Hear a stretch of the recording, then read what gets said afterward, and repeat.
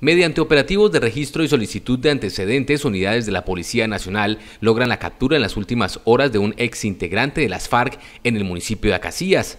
Se trata de Ever Bonilla López, más conocido como Fardey, de 51 años, y fue capturado mientras caminaba por las calles del sector céntrico de la ciudad. Perteneció al Frente Juan José Rondón de las FARC que delinquía en el municipio de Uribe Meta e ingresó a la estructura guerrillera el 15 de noviembre de 1998. Actualmente figura como guerrillero licenciado.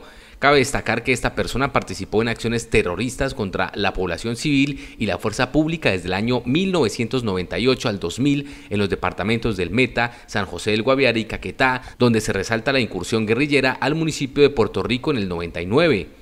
Ever Bonilla quedó a disposición de las autoridades competentes por un juez de la República que definirá su situación judicial.